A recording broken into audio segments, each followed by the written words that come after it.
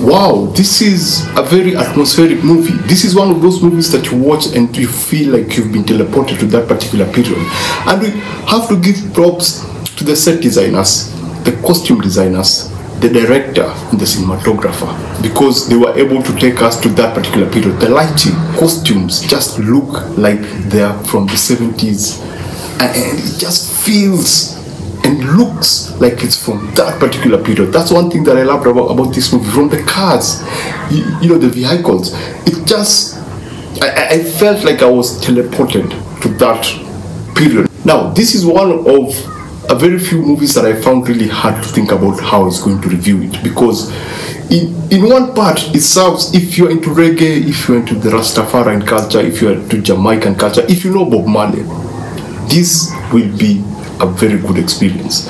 If you've never heard of Bob Marley, you're not into the you know, Rastafarian culture, you've never really heard the Pasio, Patio uh, Jamaican you know, language, then this would be, you know, if you're just a, a film fan who just walked into the cinema and you saw this thing called One Love and you just walked in, then this might be also a difficult movie to watch.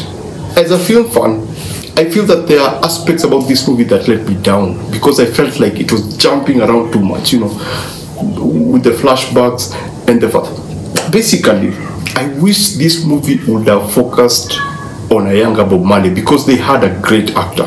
I think he looks the part, but I, I kept trying to see him as the younger Bob Marley. I would have wished they would have focused on one particular period of his life when he was a bit younger and see him come up to be who he is. The best way to put it is this is more of a celebration of the character, and I think this is because the family is the executive producer of this particular film, so they would want him to be portrayed in a particular way. Um, think of uh, Bohemian Rhapsody, it, it, it feels kind of that movie. It plays really safe in portraying Bob Marley in a certain way that, you know, is crowd pleasing.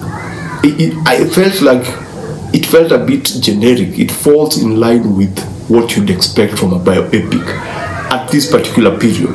From Elvis to Bohemian Rhapsody to the Whitney Houston one, you know, it's it's it's trying. It's more like let's celebrate this particular figure, but let's not go into into the, any controversies. Um, yeah, we may touch a bit of the whatever happened to him from a political point of view, but we want to celebrate this particular character. We don't want to taint his image. We want to, you know, maintain that particular image and just celebrate the person.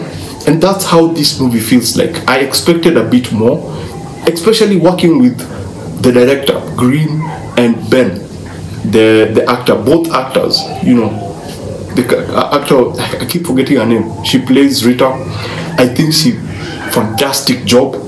Uh, ben, uh, wow, the, the, the, the main actor's performance was so good that at first you go like, ah, there's that moment you go like, ah, I still cannot see Bob Marley, but as you move on, you get into it so much that you forget.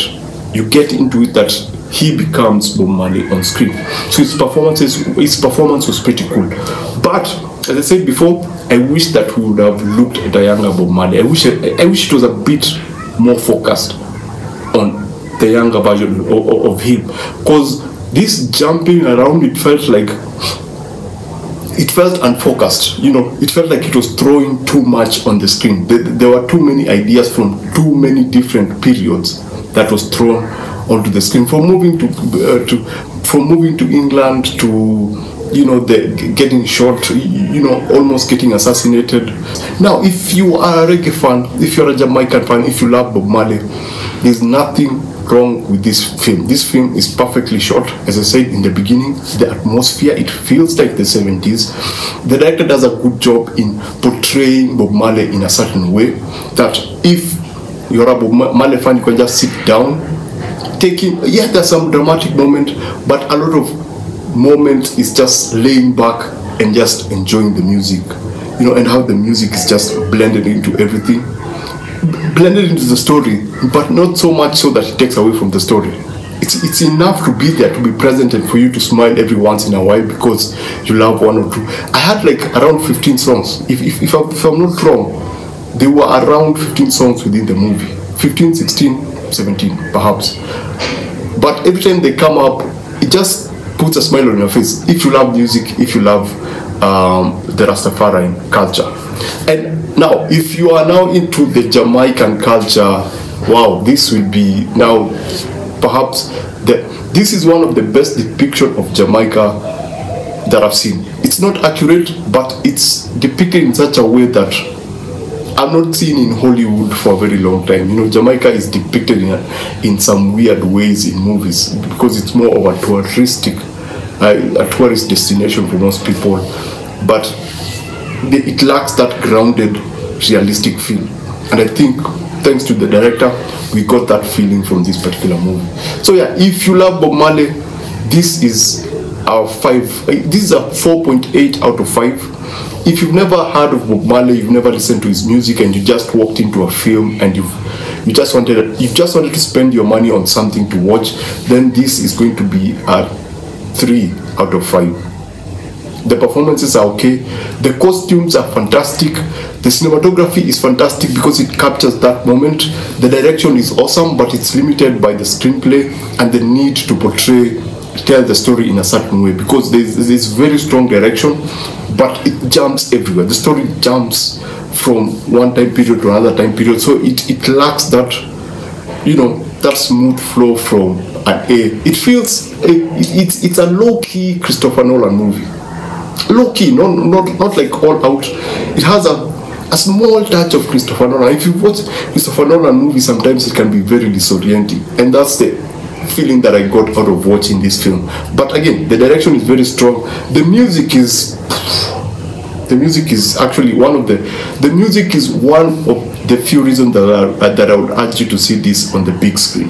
The music, the costume, the cinematography, because it's very atmospheric, and you can actually just sit back and you know watch these people tell us about a legend. So basically, that's it. That's my review of One Love, the Bob Marley story. Um, thanks for watching. Remember to always watch what you enjoy and enjoy what you watch. And I shall see you on the next one. And please subscribe, hit the like button. I think you've had this forever. If you're always on YouTube, like, press the like button, subscribe. But I hope to see you on the next one. So please subscribe.